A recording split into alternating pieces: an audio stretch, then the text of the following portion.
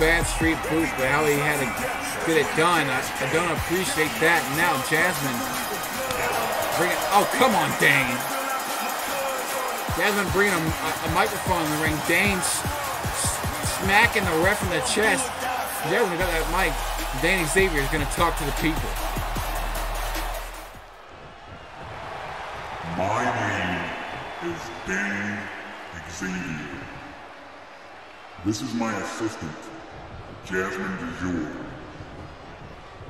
I am here in Cyber Championship Pro Wrestling. Live in the hyperspace. Yeah, you're not going to get a cheap pop of the match like that, Dane. And I am here to be the CCPW champion. And if I am not given what I want, I will simply necessary.